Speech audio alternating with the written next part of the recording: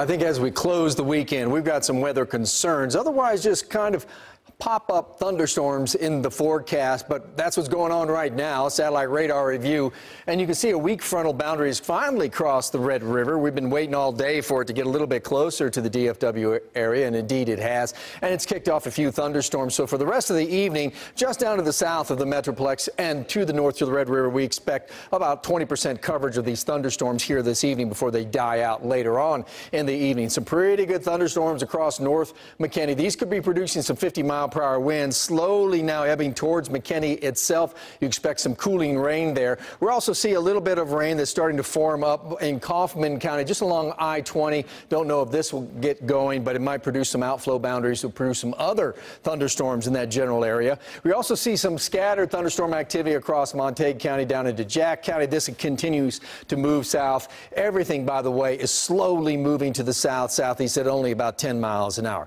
Our rain chances are going to increase as we get across the weekend. Tomorrow's going to be a hot day, 96 degrees. Feel like temperatures could close in on 100 degrees. A 10% chance of rain, though. So for most of us, it's going to be dry on Saturday and Saturday night. But Sunday, we're putting in a 30% chance of rain. If it wasn't for the cloud cover we anticipate Sunday, it probably would be a 100 degree day. It's going to be very humid. It's going to be a little breezy, but we have a 30% chance of thunderstorms Sunday afternoon that picks up to about a 50 to 60% chance of thunderstorms by Sunday night, and more on that in a second.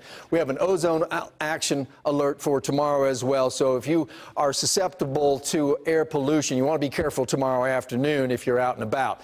Future sky forecast we go. We'll wake up tomorrow morning with just a few clouds and a few thunderstorms and a hot day. Saturday night, that should all drift away. There was rain chances. But here comes a frontal boundary on Sunday, and look what happens with these rain chances Sunday night. So we want you to be careful about that. We could have some strong thunderstorms. And as we get into Monday and Tuesday, that system's just going to stall out over us. And look at this. Daytime highs only in the 80s and 70 to 60 percent chance of rain after the weekend. But the weekend looks hot with the rain chances piling up by late in the day and Sunday night.